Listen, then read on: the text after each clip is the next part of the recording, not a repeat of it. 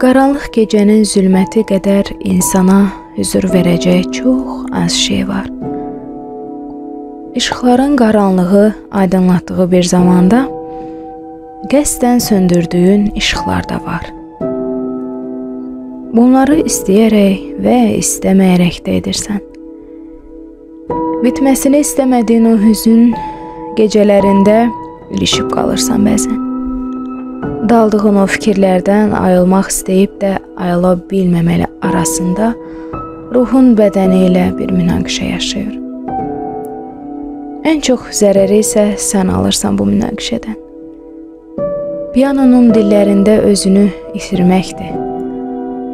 Acılarını pianoda səsləndirdiyin musiqidən aldığın intiqam hissi. Gözlərini yumub qaranlıq xəyal etmək yerinə qaranlıqdakı pianist olmağı seçirsən.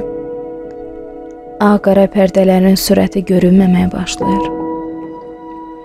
Piano qışqıraraq ağlayarcasına səslər çıxardığını hiss edərək daha da qəzəblə vurmağa başlayırsan klavişlərə.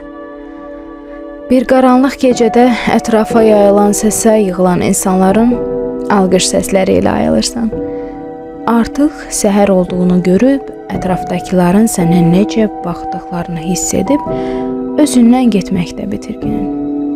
Növbəti gecədə sakitcə toxunursan pianonun pərdələrinə. Onun necə ağlamaq istədiyini, necə qışqırdığını, necə səni səslədiyini görürsən açıq-aşkar. Həzin mahnılarla sakitləşməyən alət səni daha da özünə bağlar və sən yenə özünü təslim edərsən ona. Əsərlərin adını bilmədiyin halda necə ifa etdiyini düşünərsən. Əllərini qaldıra bilməyənə qədər, yorulub halsızca başını pianonun üzərinə qoyduğunda bir qərar verməli olduğunu anlayırsan. Artıq bəsdir. Yetər, deyə qışqırarcasına qalxarsan ayağa. Özündə tapdığın gücə sarılar, onunla aldığın qərara hörmət edərsən. Hər kəsin səni dəli kimi gördüyü bir zamanda məşhur Amadeus Mozart olarsan.